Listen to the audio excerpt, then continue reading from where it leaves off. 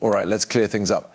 As early as the beginning of the year, everyone was excited about the huge possibility that XRP would reach $10,000.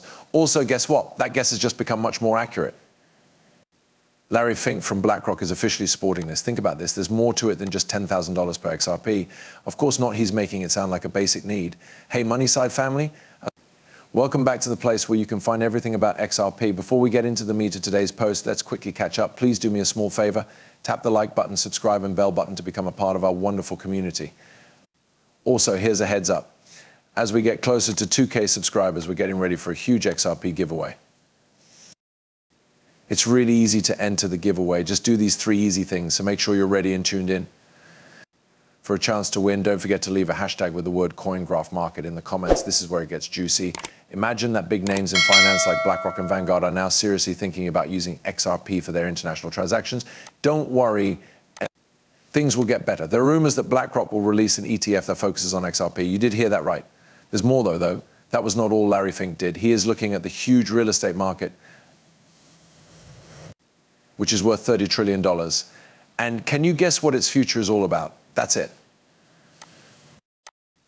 The XRP ledger all set to turn everything into tokens. A huge $1.2 quadrillion from the International Swaps and Traders Association is also going to flow through the XRP ledger and RippleNet. There's more to it than just $10,000 per XRP.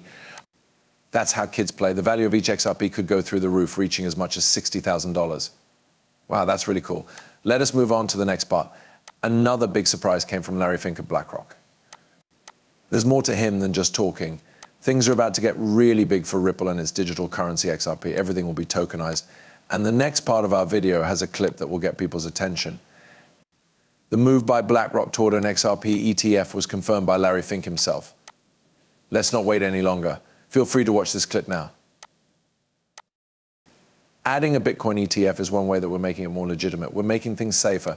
Now listen up, are you going to do another ETF? What about an XRP ETF? I know you have an Ether somewhere.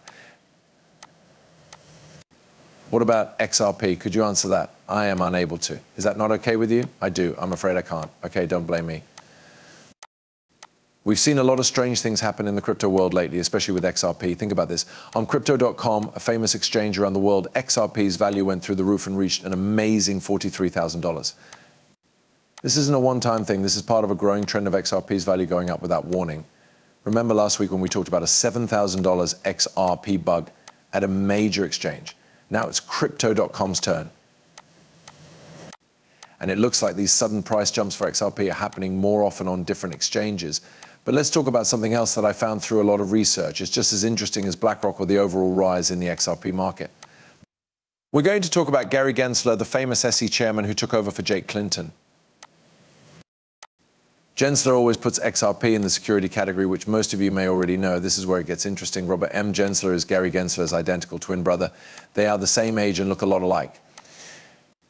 As vice president of T. Rowe Price, Robert is a very important person there. It turns out that T. Rowe Price isn't just any investment firm when you look into it more. It is one of the biggest companies putting a lot of money into Bitcoin, Ethereum, and yes, XRP. There seems to be a strange link here. Gary Gensler, who is in charge of the SEC, keeps calling XRP a security. However, his twin brother is very involved with an investment firm that has a lot of money invested in XRP and other cryptocurrencies. It's an interesting contrast that makes me wonder about the complicated dynamics at play in the world of cryptocurrency investments and regulations. Now we come to an exciting possibility. Could Robert Gensler, vice president of T, uh, Rowe Price, know something that no one else does about XRP's potential like they do about Bitcoin and Ethereum? When you think about how much the company has invested in these three cryptocurrencies, this theory starts to make sense. In public, the SEC says there is no such thing as insider trading, but many reports and investigations have shown that there is. These investigations, which have mostly been about market manipulation and insider trading, have repeatedly shown that the SEC is doing things that aren't right. It looks like a pattern is starting to form. It looks like SEC employees are telling their friends and family about which digital assets might soon no longer be considered securities. Then these family members invest early. When the asset is officially declared non-security, its value goes through the roof, making these family and friends rich by buying low and selling high. In this situation, let's think about the chance that Robert N. Gensler got inside information from his brother Gary Gensler about how the SEC might lose a lawsuit against XRP. This kind of information could mean that Congress wants to settle the case between Ripple Labs and the SEC. This is a great time for smart investors to buy XRP. But seeing T. Rowe Price put more and more money into Bitcoin, Ethereum, and most notably XRP adds another layer to this story.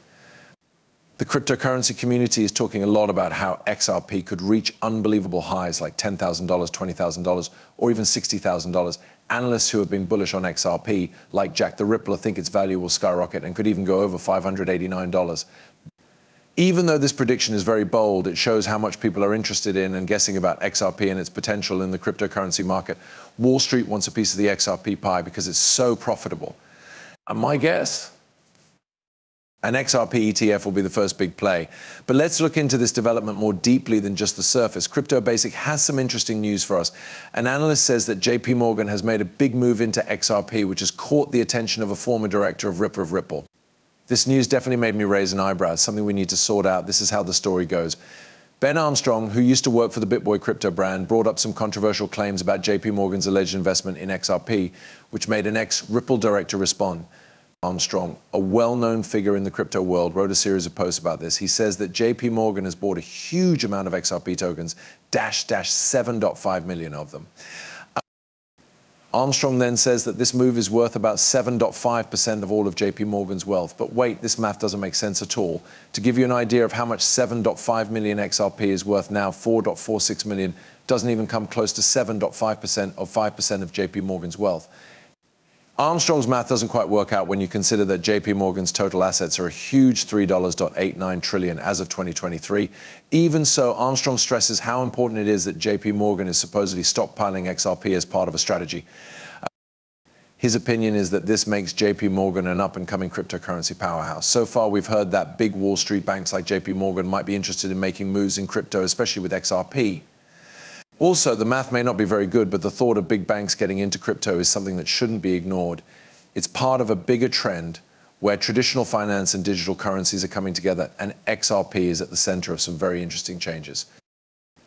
Okay, so here's the deal. It was always going to happen that Wall Street would accept crypto. Since more than five years ago, when I first talked about this, it seemed like a far off dream.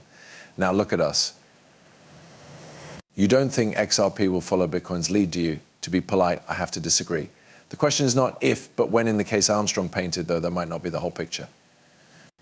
But wait, the story gets more complicated. Matt Hamilton, who used to be the director of Ripple, responded to Armstrong's shocking claims with a lot of doubt. He wasn't sure if such a purchase was legal and wasn't sure what effect it would have on XRP because there are so many of them. This is when Hamilton pulls out the calculator.